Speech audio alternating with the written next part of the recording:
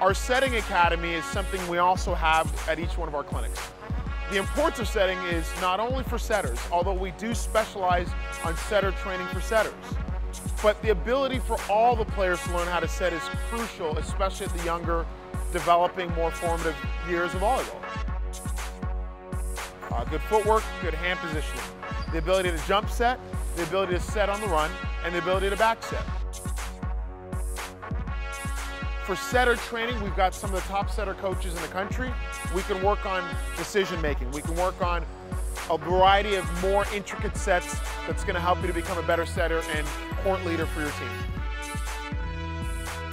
Whether you're an outside hitter, a back row player, a middle blocker or middle hitter, a right side player, setting is crucial.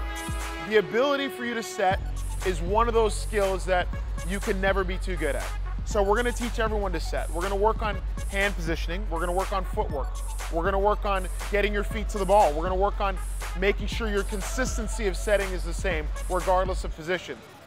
Having said that, we do have specialized setter coaches for the more advanced setters that are gonna work on jump setting, jumping off your right leg, jumping off your left leg, back setting, decision making, and lots of repetition to help you set your team.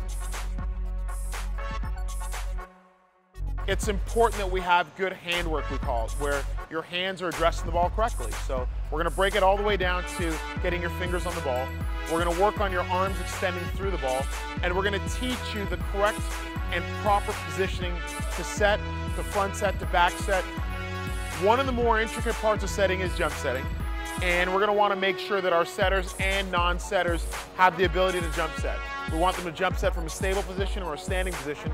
We want them to be able to run and jump set as well too. So it, it is a more advanced skill for some of the beginning players, but we're gonna work on that and allow you to make mistakes in a comfortable environment so you can take it back to your high school team or your club team and you'll be a better setter for it.